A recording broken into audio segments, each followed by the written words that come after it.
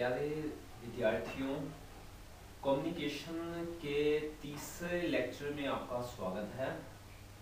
आज हम आपको बताएँगे कि कम्युनिकेशन जो कि अच्छा कम्युनिकेशन है, उसके रास्ते में क्या क्या मुश्किलें आती हैं।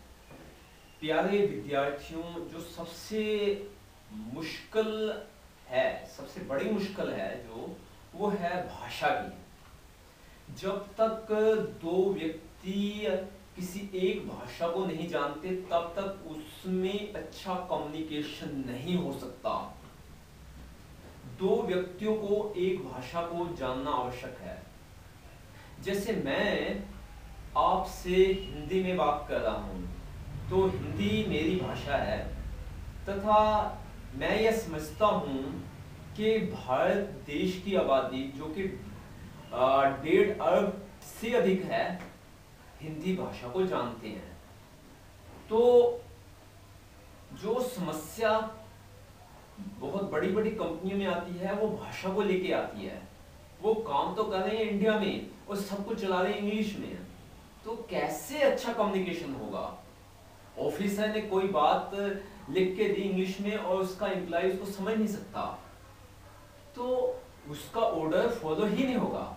तो ये सबसे बड़ी मुश्किल है। तो ऐसी कंपनी को चाहिए कि, अगर वो लोकल एरिया में काम कर रही है तो वहाँ की लोकल लैंग्वेज के साथ अपने आप को बदले।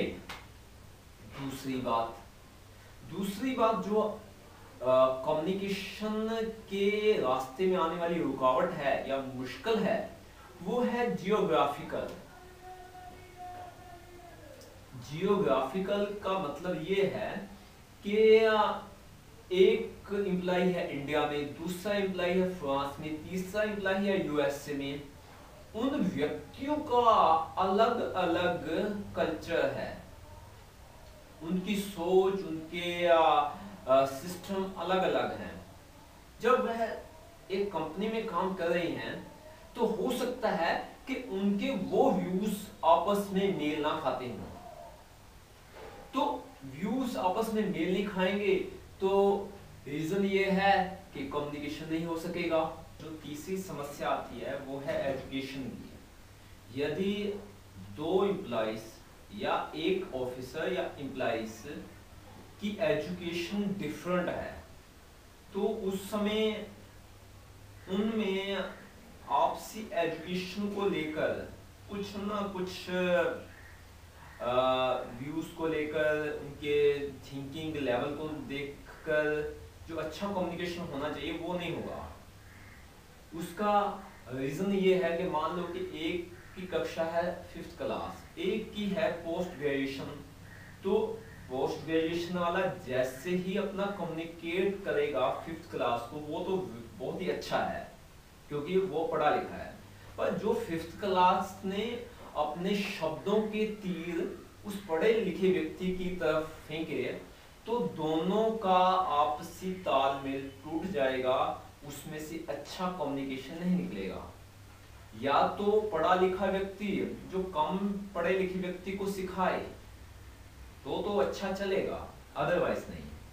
और चौथा जो डिफिकल्टी आती है कम्युनिकेशन में, वो है कि lack of will to communicate जैसे मैं आपको बताता हूँ कि जो ज़्यादा पढ़ जाते हैं, उसमें ईगो भावना बढ़ जाती है। वो कहते हैं, मैं क्यों कम्युनिकेट करूँ? मान लो कि मैंने अपने एम्प्लॉयज़ को सिखाना है। अरे, मैं क्यों सिखाऊं?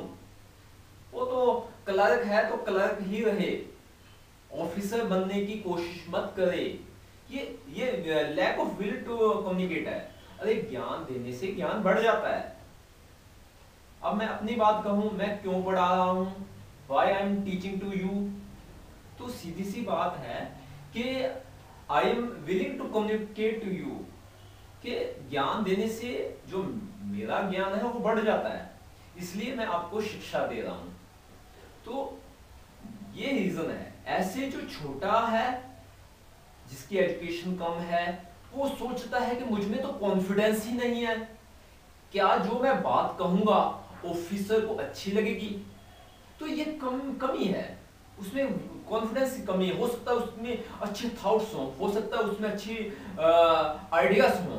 पर वीकनेस ऑफ़ कॉन्फिडेंस वो अपना कम्युनिकेशन ऑफिसर को दे नहीं सकेगा। नहीं दे सकेगा तो कंपनी को लॉस हो जाएगा। तो यह मुश्किलें हैं।